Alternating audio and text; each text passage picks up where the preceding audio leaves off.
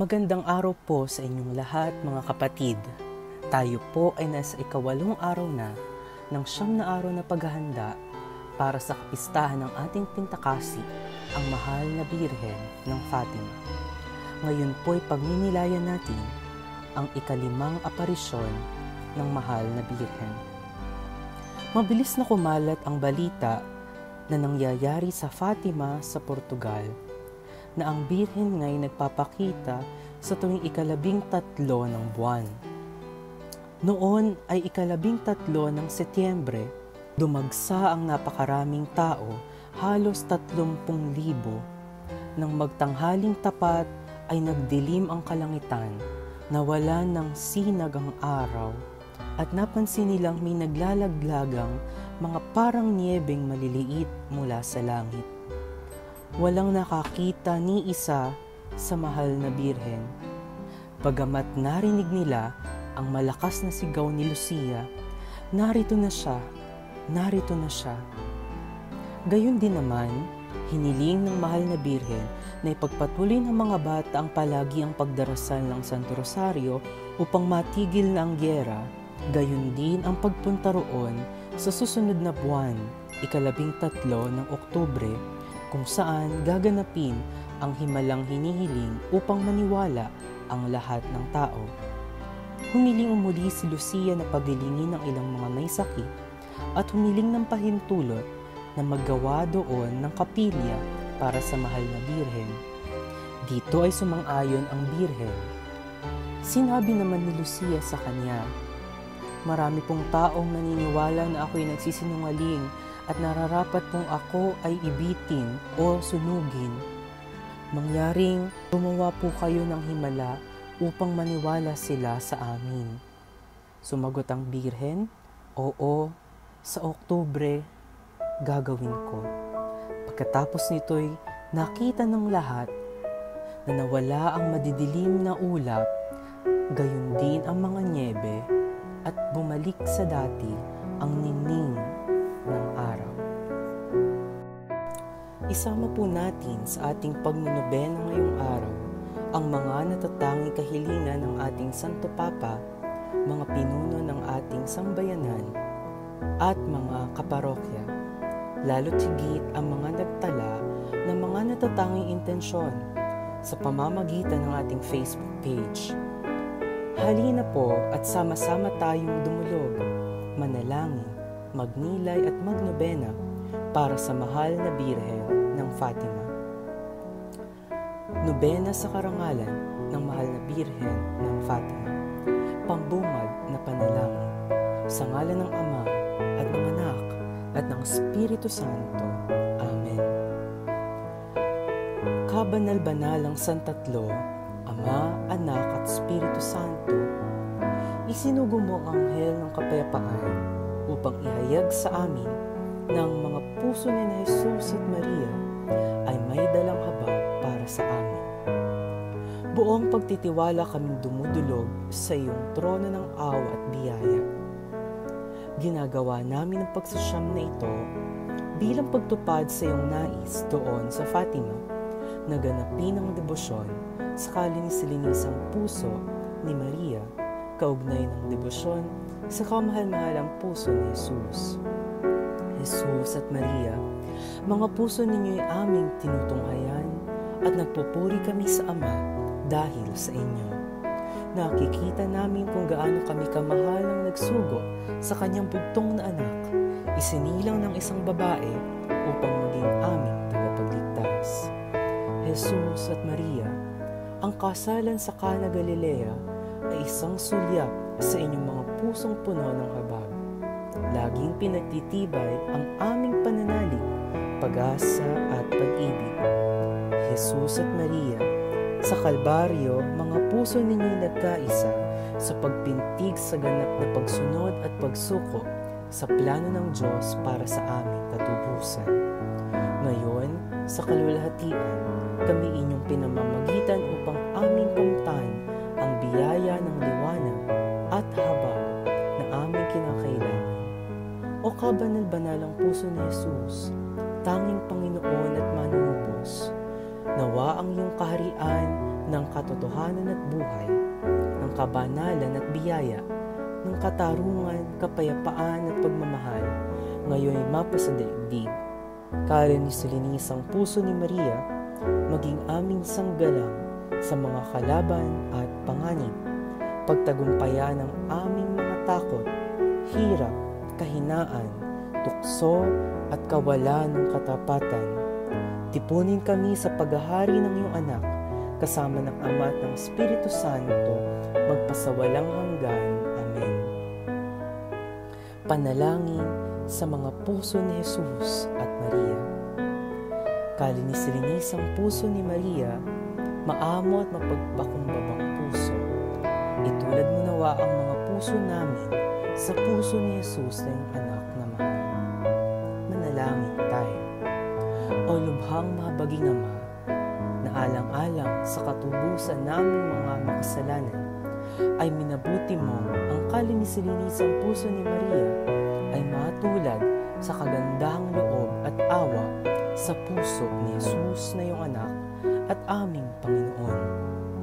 Loobin mo po na sana kami na gumugunita sa katamis-tamisan at kaibig-ibig niyang pusong mawain, pakundangan sa mga karapatan at pamamagitan ng kalinis-linisang puso ng mahal na Birhen ay matagpuan na laging kapiling at kaisa ng puso ni Jesus sa pamamagitan niya kasama ng Espiritu Santo magpasawalang hanggan. Amen. San Francisco Marto at Santa Jacinta Marto, ipanalangin mo. Panalangin itinuro ng Anghel ng Portugal sa tatlong bata ng Fatima. O Diyos ko, ako'y sumasampalataya sa iyo. Ako'y sumasamba sa iyo. Ako'y nananalig sa iyo at ako'y umiibig sa iyo.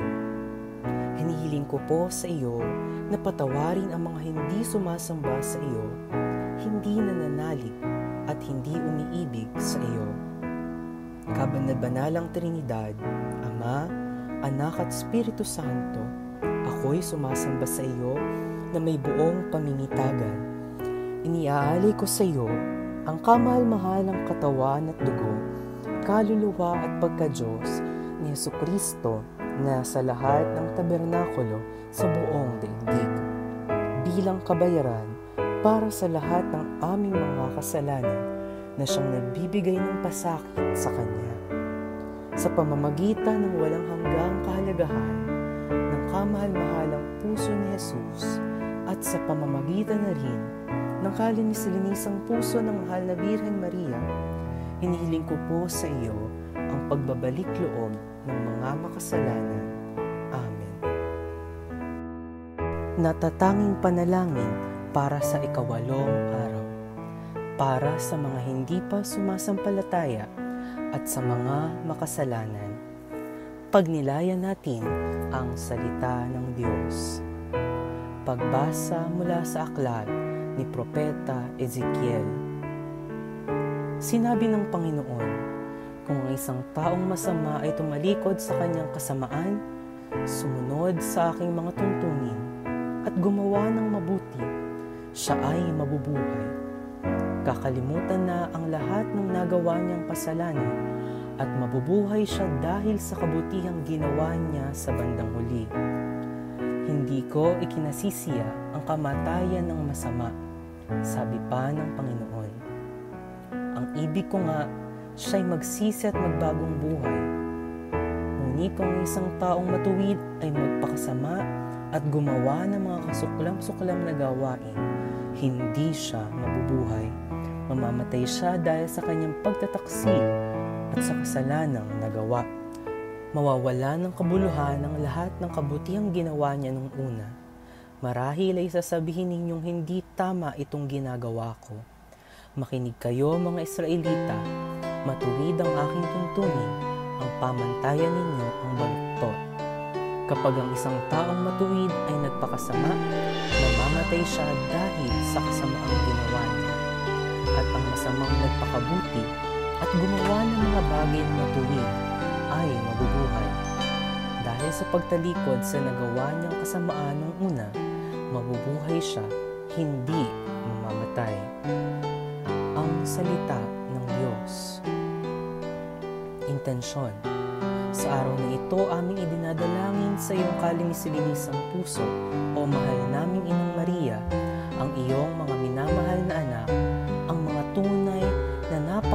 napakalapit sa iyong puso, ang mga hindi pa sumasampalataya at mga makasalanan at nangangailangan ng pagbabalik loob. Ano nga bang nais ng ina sa kanyang anak? Dama namin ang iyong lungkot para sa mga anak mong ito at nais ka namin aliwin sa pagbabago ng aming buhay at pag-aalay ng pasakit bilang tanda ng pagmamahal namin sa iyo at sa aming kapwa. Panalangin sa Birhen ng Fatima upang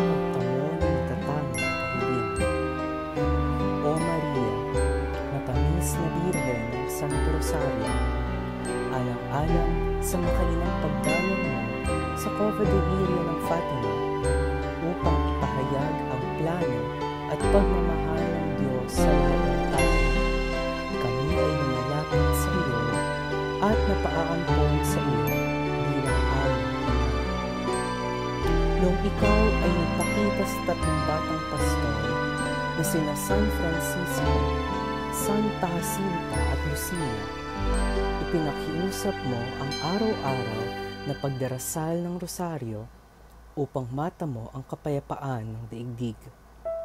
Gayon din ang pagpapakasakit para sa ikapagbabalik loob ng mga makasalanan at pagbabayad puri sa mga kalapastanganang ginawa laban sa iyong kalinisin-linisang puso.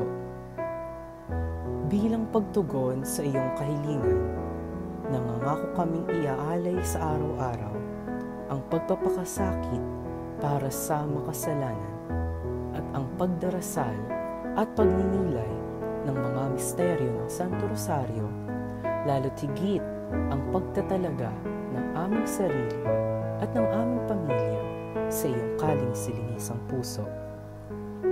Idalangin mo po na naway igawad ng Diyos sa amin ang kanyang dakilang awa at pagpapatawad sa lahat ng aming mga nagawang pagkakasala. Tulungan mo po kami, mabaging ina, na umiwas sa kasalanan na naglalayo sa amin sama at sa isa't isa.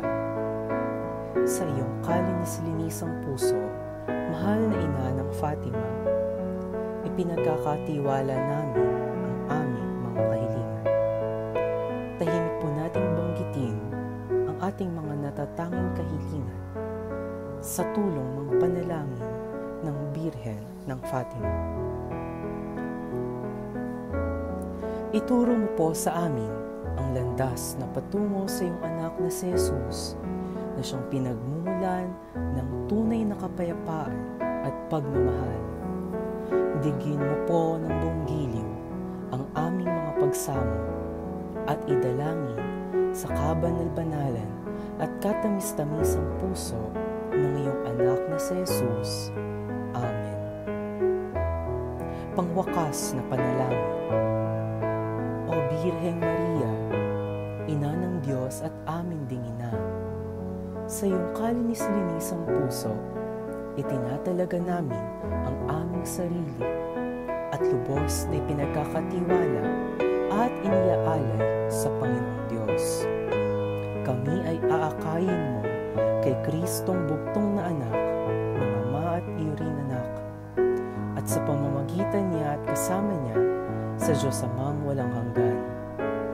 Puspos ng banal na Espiritu, maglalakbay kami sa liwanag ng pananampalataya, ng pag-asa at ng pag-ibig upang ang sanlibutan ay manalig na si Kristo ang isinugo ng Ama upang ihatid ang kanyang salita at kami na kanya namang isinugo ay ipahahayag ang kanyang aral at pag-ibig hanggang sa dulo ng daigdig.